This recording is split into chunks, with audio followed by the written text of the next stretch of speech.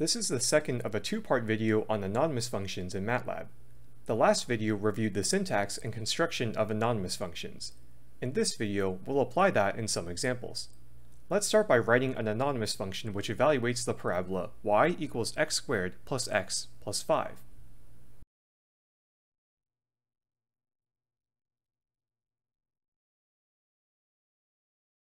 The anonymous function handle is named y. It accepts one input x and returns the value of the parabola governed by the equation. Don't neglect the dot preceding the caret.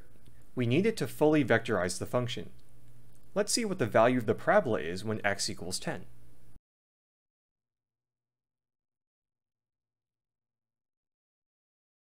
We see that the y value is 115. Verify this on the calculator if you want. The output is not currently stored in a variable because we never assigned it one, so let's change that real quick.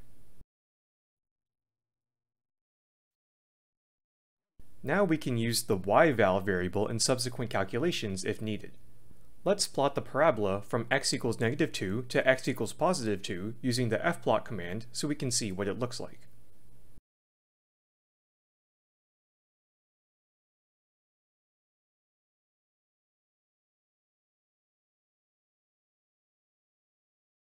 We provide the function handle y to the fplot command and the x-axis limits as a two-element vector.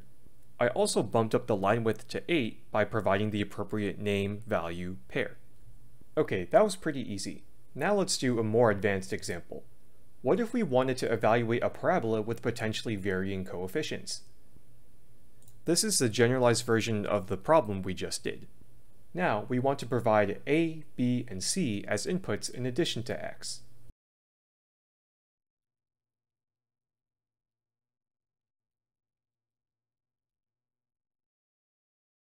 I called the new anonymous function yy just to differentiate it from the one we just made.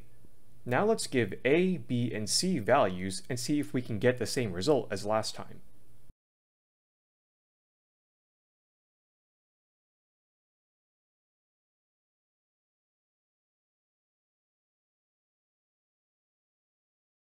We can see that yval and yyval are identical.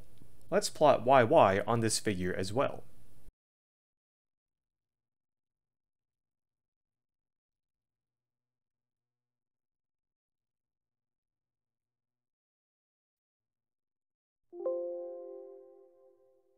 We got an error. When using fplot, the anonymous function must only be a function of a single variable, but yy is technically a function of four variables. Even though we define static values of a, b, and c, yy is still considered a function of four variables because they're listed as inputs to the anonymous function. MATLAB considers a, b, and c to be independent variables along with x, even though we gave them values down here. What we have to do is define another anonymous function with only one input which calls the yy function.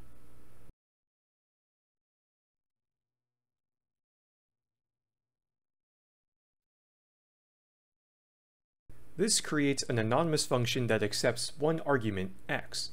The expression is the yy function itself. It calls the yy function, but now the a, b, and c parameters are fixed because we didn't provide them as inputs to this new anonymous function.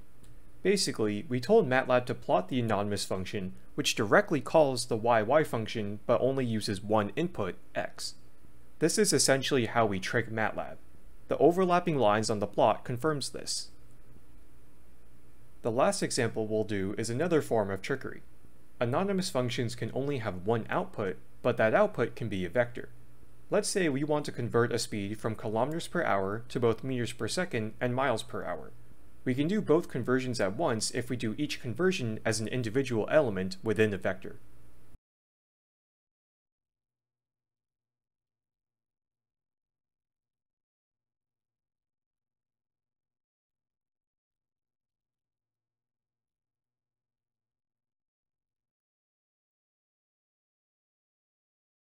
The anonymous function is called convert speed, and it accepts v, which is the velocity in kilometers per hour.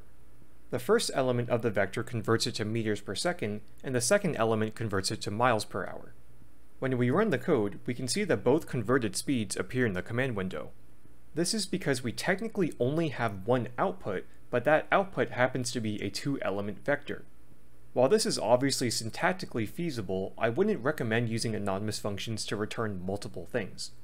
The purpose of an anonymous function is utter simplicity, so abide by that and only write anonymous functions which return one number or thing. If you need to make multiple outputs, write a user-defined function instead. I hope these two videos helped you learn about anonymous functions and the fplot command.